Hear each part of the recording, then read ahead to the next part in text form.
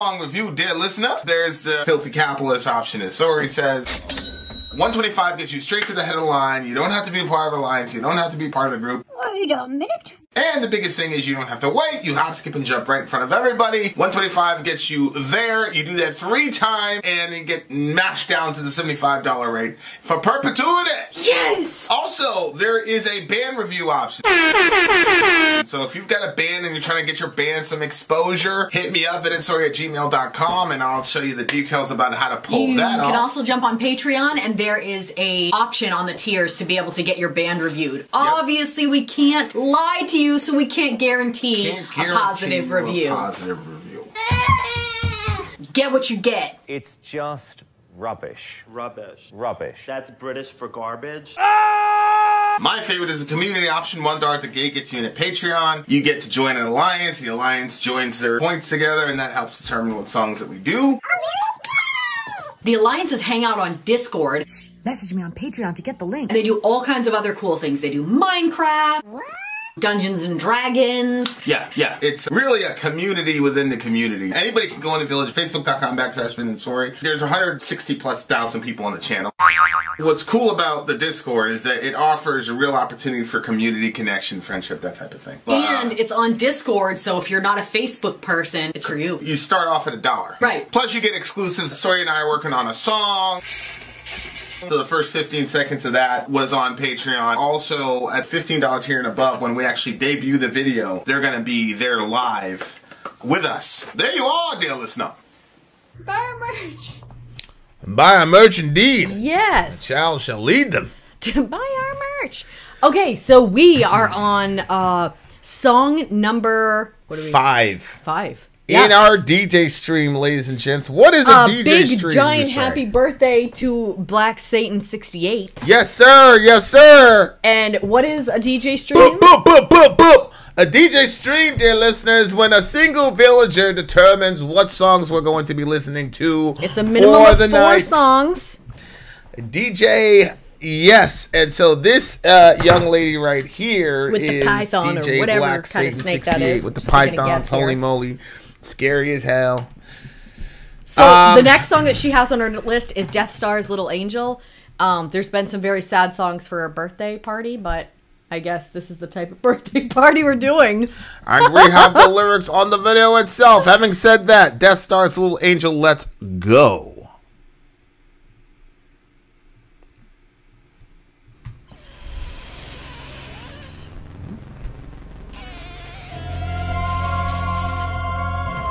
Shit, this is spooky.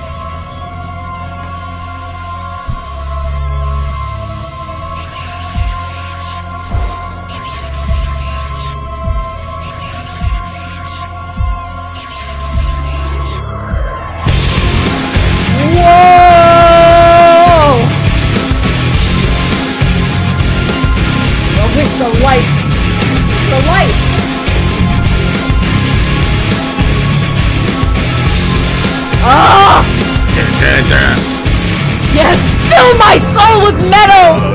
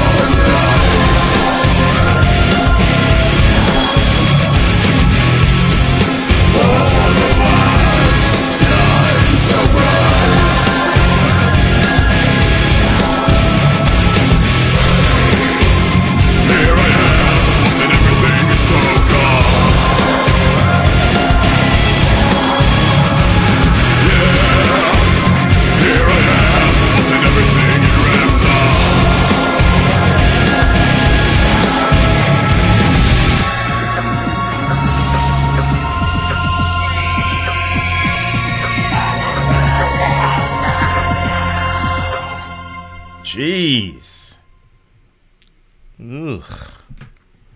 Oh my god! What the fuck are you doing, bro? Ugh, terrible. Okay. Uh Was that a lyric video? Yeah, it was a lyric video. Jeez, um, Um holy shit. These guys Deathstars is the name of this band. oh my word, these people are no joke. Th- That, I'll tell that- you what, I wanted my corpse paint on. They had yeah, they had that goth sound, but it was more aggressive. Like Yeah. we just listened to what was it? We I forgot Vara was the name of the band last night. Oh, really? Yeah, That's yeah, name yeah. it? Okay. Yeah. And it was it was a cool it was kind of a retro and 80s type sound. You know, like it's a relationship song, that type of Mm-hmm. Yeah. thing. Um we, we listen to so many songs. Which one? Vara, the the the one we were listening to last night. Yeah, but we listened to like a bunch of songs. It's called it was called Incomplete Burning. We actually discovered Oh. the song on this channel actually. oh, oh, oh, oh, oh, yeah, okay, I know which one you're talking about if. I could find a playlist of, of of that like genre, that style, like I love that style. My brother used to listen to music like that, like when I was a kid, but it was all relationship shit and it was just corny. You know what I'm saying? Mm-hmm. I thought New Kids on the Block was cool. I'm like, yeah, get that, get, yeah, that shit is wagging. Get New Kids on the Block in there, hanging tough. I ain't want to hear about no girl nigga crying over a girl. What's wrong with you, nigga? Crying over a girl. There's a bunch of girls out there, bro. What you doing? Put on some New Kids on the Block so we can hang tough. You know what I'm saying? Hanging tough. when I, I didn't know anything about that. The only thing I knew about new, kid, new Kids on the Block was we were not allowed to participate in anything that had to do with their stuff, and I saw them on a lot of lunch boxes. Yeah, the New Kids. Yeah, New Kids lunchbox, man. Ain't fucking with you, bro. Like that. They on that. They on that I shit. was like, oh no, they have the New Kids on the Block. Yeah, but like, but I love that sound. I love that sound. I don't sound. know what, what they sound like. It, it's it's that '80s retro. I'm gonna play it. I'm gonna. this I'm is just Red Bull. gonna. I I'm just want to point out that we are Eastern Standard Time. It is now 12:30. I'm just gonna middle play of the night, early morning. It's this whatever you one. call it. Shout out to Red Bull. Oh yeah. Yeah. When you. Yeah, yeah, yeah, yeah, yeah. Your secret tortures. Blah blah blah. Um. Anyway, I I love that style, but but but but that style is kind of it's kind of like there was this band we did, The Cure. Yeah. And it was all like soft and poppy, but it had that kind of goth style. Mm-hmm. Yeah. Yeah. yeah. This one had that kind of vocal style, but it was heavy. Yeah. It was metal. It was a metal. So it was definitely uh, in the chorus, especially. I felt like the Rammstein vibes, but Yes, It but I also like got Vara a some Type O in there too. yep, yep, yep, yep. Well, Type O, yeah. Okay, but I would say like vocally, I don't know. Nobody's gonna mess with Peter Steele, in my opinion, on that type of genre. Right. But this voice kind of sounded like it was kind of going there, but the background music wasn't like that kind of like kind of creepy, like gothy sound kind of coming in. This is like got heavy. It got like, but there was also like okay, probably the first and last song, time I'd ever use this for a song, but it had a sort of nasty sound to it. I don't know. I just that That's what I'm saying. it Like just that, there was that, that there was vocalist. something about it that made me want to run and hide, while simultaneously made me want to just dive into the whatever was there. that vocalist. Right? yeah, he was on his shit. Like, like, there's so many different ways to be an interesting vocalist. Like the whole, cook, you know, Cookie Monster thing. Like, Mm-hmm. That's why I'm glad, like, with our shit, like, we weren't going in that direction. Yeah. Like, I still think, you know, the more songs we write, you're gonna find your voice a lot more. But I'm just glad that you know we didn't like. And we didn't do the mm, raw, you know what I'm saying? Oh, look, she's pretty, but she's got death vocals. Holy shit! you know what I mean? Yeah. You know what's funny? I love this guy's vocals because his vocals were heavy to me, but they were heavy in a different way.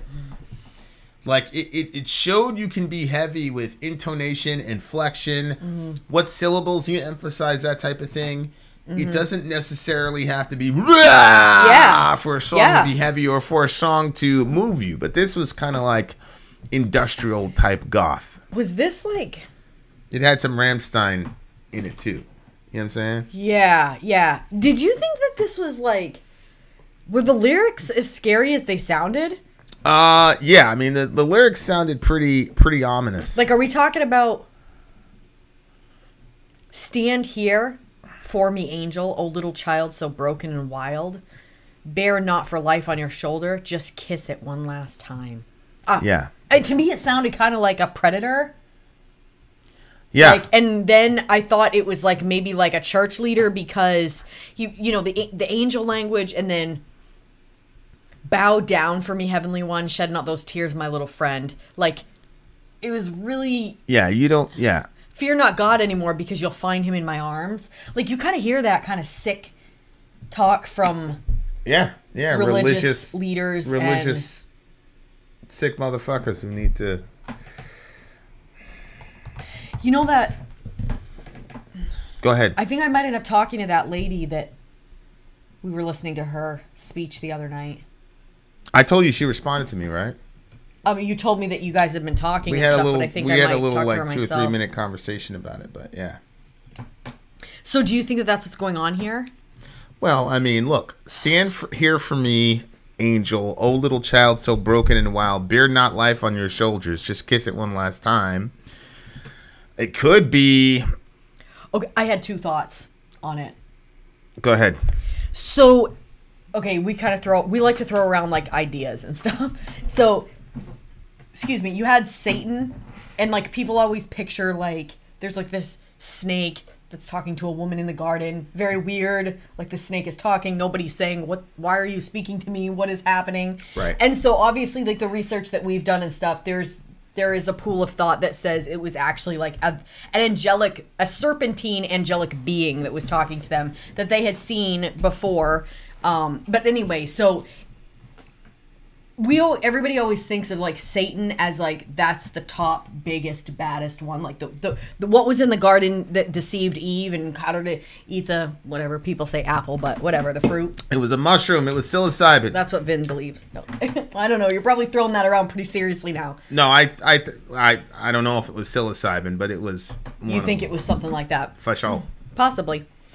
So anyway, so in that sense, if that was the case and there's like this serpentine angelic character, but there's like really a top evil being that kind of like is the hierarchy of all those evil beings. Yep. Almost like stand here for me, angel, oh little child so broken and wild, like he's talking to the serpentine angel that deceived Eve. So as you go down through it, like at the end when he says, "Tell me how your wings got broken," tell me now how your spine got whipped by leather tell me how your tongue got split like when you think of like a snake whatever but tell me all the things you need to um to fell drift away To but feel anyway, to the- drift away. I'm well, assuming. yeah um not that i think that's what the song was about but it was an interesting um it was kind of an interesting thought to think if the one that deceived them wasn't actually the highest of all the evil beings Right, that there like, was a that there would be a higher evil guy being that behind- would be like you poor poor There'd be a demon thing." behind yeah, the devil. encouraging the devil to kind of like mm, into self pity yeah. and yeah you know what i'm saying like it's- Yeah, so if you scrolled up, if you scroll up on the lyrics, yeah yeah, beer not life on your shoulder. Was the music too loud for you? Too raw to be true? Were the abstracts too dark for you? I beg you now too. Watch the sky so bright, see it all its light fade. Here I am. Was it everything you spoke of?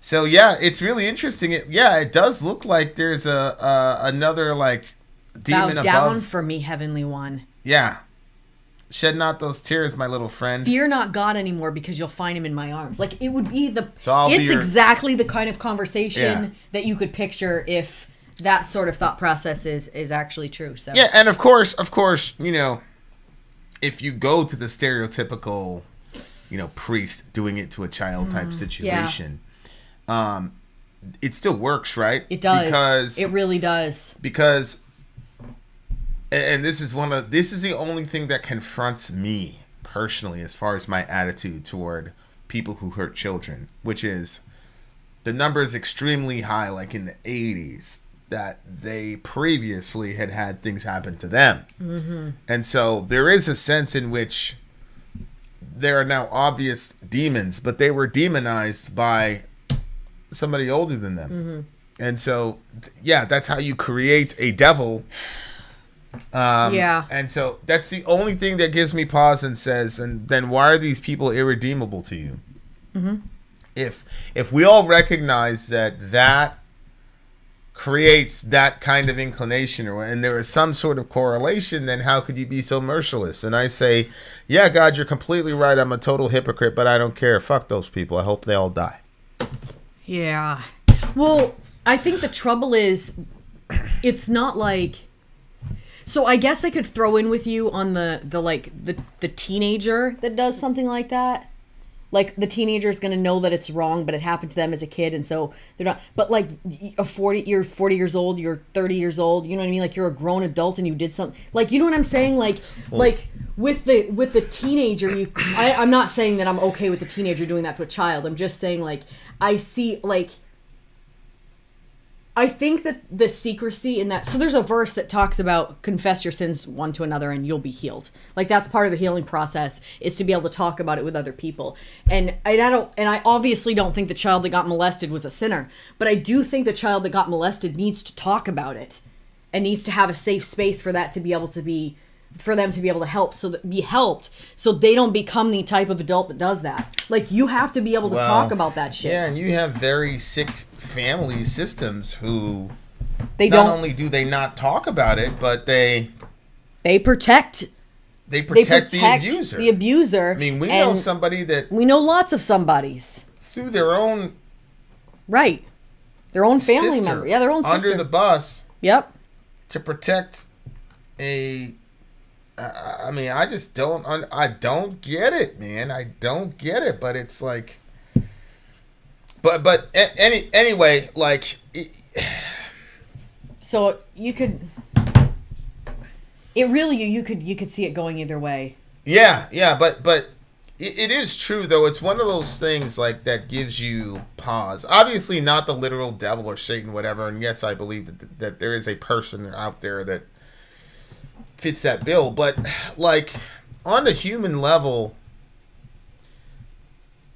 I you know we, we talk about frailty, and frailty was this movie where like this guy was supposedly having these visions from God that these people were like and Yeah. then he, he would like find a name or a name would appear or whatever he would find the person and kill him so then during the entire movie you're like holy shit this guy's a psychopath And he involved his kids in it. involved his kids in all that shit then One of his turn- kids is like fighting him the whole time on it because he's like thinking he's so yeah bad. like dad no no and then the dad locks him in like some basement, yeah. right? yeah yeah yeah he, he knocked he locked Under the down porch or under, under the- under the barn. the porch and in the barn yeah yeah yeah Under the barn. and like but but then then at the and so the entire time you're like sorry for this poor kid because his his younger brother's completely bought into it. The dad's obviously bought it. You feel so bad for this poor kid. And then subhanallah. At the end of the movie you find out the entire time the dad was right. And that these were horrible people. And they were people that most people wouldn't have a problem most Right, people right, would be right. like oh, okay well you had it coming. Right. you know what I'm saying? And so it's like I had one perspective about Fenton and the dad. Fenton was a good guy, the dad was a bad guy. But then when I got access to more information and I got access to the reality, then who I thought was good and bad flipped immediately. So that's my thing. It's like, okay, so if we looked at the backstories of these people, would that change how much of a villain you thought they were. So let's say they did some horrible thing and we found some technology that could get you not only into the memory but how they felt. and what it was like to grow up from 6 to 40 with that event happening to you. And you then gain an experiential understanding. Would that change how we view them, what we think should happen to them, that kind of situation. Like it's a very, Well, it's pretty I crazy. feel it's a pretty crazy idea. I don't know because I don't remember all the conversations I've had about it, but I feel like that I've been pretty reasonable when it comes to that department. You have. and I feel like I've been pretty balanced about it. I do think, like I said, if that happened to you as a kid and you've never talked about it, you, you should talk to, talk about it to whoever you need to talk about it with, because I don't think you should hold that in. And I and I think that simultaneously, if someone if that's happened to someone as a child, and then they find themselves growing and finding their, that their um their their affections are off, Yeah. as- so to speak, then again, it's society is set up in such a way that people want you to shut the fuck up with it. Don't say anything. I don't agree with that. There's got to be people that you can talk to. Like I don't I don't suggest talking to your neighbor about that. Talk to a professional that can actually help you through those thoughts and those feelings because I I think that that particular topic when it's just hidden and it's not actually dealt with or be, been able to be talked through and the person i think i don't know it maybe after so long of thinking and feeling the weight of society is against pedophilia right i mean yeah For you've now. got some groups of people that are For just now. straight crazy but Inshallah. yeah yeah but you get the idea Yeah. so in those in those situations like i don't know like society I think I've said it before. I think that that sort of reaction actually makes it so kids are more in danger 100%. because people can't say, "Hey, you know, Yeah. No, it's true. this is this is an issue." It's true. So, and I, and I think that that's why I'm more because I, if I stop and think about the topic, I am furious, and I feel I feel so sick that like I have to stop thinking about it because it's just too much. But then, but I but I feel like you gotta you gotta give those people some help because if you don't, more kids are gonna be in danger. So mm-hmm. I I don't know. It's it's a It's tough. it really it's and literally my stomach feels upset right now because we've already we've been talking about it. Yeah. I, I, I hate the topic. I hate that it happens to kids. I hate that people are in a situation where they feel, you know, whatever. And that's the other thing too. If you're a parent and you don't you don't see what's happening to your kid or you miss it and then the kid comes to you and you disregard it and then that child has to carry that all their life and deal with that themselves. That's and why- then now they're in a society and then they start having these crazy ass feelings and they have no one it's like i just feel like I, you really i need you to see through what i'm saying. I am furious at people that touch kids or do anything to kids like i have no like but but i feel like they need help and we have to be careful with how we say stuff so they can actually get the help and the kids are not suffering so much. But it's such a it's because it's such a taboo that if it happens within families people are more concerned about their pride or their family pride than they are about getting kids protected Yeah. Yeah. what what does he say Um, it's up in the The actual abuse is only part of it. It's the years of psychological torment which follows. right I've known women who have committed suicide would have prevented one had I arrived only moments earlier. That's our uh that's our that's our seems to be the the the lot in life of villagers, huh? We got an inordinate amount of people who've dealt with that. So shout out shout out to my brother on that situation for sure. Shout out to Kai. Shout out to the big homie. But uh yeah, it's very very challenging. You know, every time we have this conversation, I'm always challenged by it, especially you when you bring that up.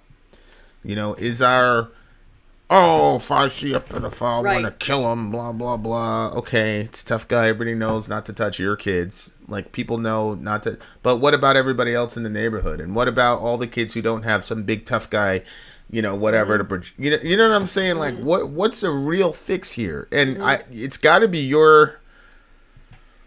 I fear that our society, because we're not doing the hard thing, which is what you're talking about, that it's gonna swing to the other side, and all it takes is a couple influential people, and people start questioning shit, and man, challenging stuff. But uh, good song for sure. What do you get the song? oh this one was a 10 for me Yeah, this is a 9.8 for me. Every single song, I mean, the previous song I gave a silent count. And I was going to give this one a silent count too, but I was like, oh. Every single song in this DJ stream has been building up off the other one and all the rest of it. We only got one more song left, guys. So um, we're going to make it a good one. Much love so to crazy we've, almost- every. we've been here for about three hours I know, it just flies by. Much love to everybody. Stay tuned, guys. We got one more song coming up for you. Vin out. Sori out Gone. Devilment. Devilment, dear listener, is the name of the last song. Yeah, but Jack Beak vocals. I, I'm totally with you that like there is that hatred toward people that are doing it. But what I'm saying is that if we continue on just talking about how they should be castrated, they should be imprisoned or killed or whatever, then if somebody's feeling that way, they're not going to come out and get help. They're not going to talk about it. They're going to internalize it. And when you internalize something like that, it can become a real monster that then cre- how much of our pedophilia is our problem that is society, society as a whole's problem because we've made it so that way these people can't get the help. They're literally the most hated people on the planet. When you start talking it's like the group of people that people most people have zero pity for because either they've had stuff happen to them or they've seen someone who's had stuff happen to them or they've th- you know, there's just so many different. Re- I can't th- think of the third one where I was going with it, but you get the idea. I think we have to be real careful what society we're creating and saying, is this the best way to help the most amount of children? And I don't believe us saying how horrible these people are and how irredeemable they are is going to solve that problem. Absolutely. Keep them away from the kids. Let them go, you know, get them the therapy that they need. Put the the where they have to stay X amount of distance away or something like that. And and if somebody was repentant toward that sort of thing, I'm still not having them around my kids. I still don't think they should be. That's good. Be repentant, but maintain your distance, please. We're not messing with that. Yeah. But Yeah. I just think that there has to be, and I think this comes from my own growth and awareness as far as where I am a shitty person. And obviously, if somebody were to look at my life and they were to look at the other person's life, they'd be like, well, the pedophile's way, way worse story than what you're talking about that you have issues with. But at the same time, like, if what I have issues with was that major thing that nobody, that everybody hated and everybody wanted that person dead, you think that I'd be talking about it? Well, I would. I'd talk to you anyway. No, I, you know what I'm saying? It's it's it's it's very it's very challenging and it's very um, there there are aspects of my faith that uh, I don't like. I don't like the non Oh. I don't like the nonviolent stuff.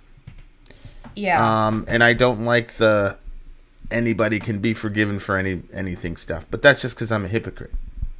Because I love it for me and the people I love. yeah. But Yeah. for those people, I don't want them to be able to be forgiven. But that's why I'm not God.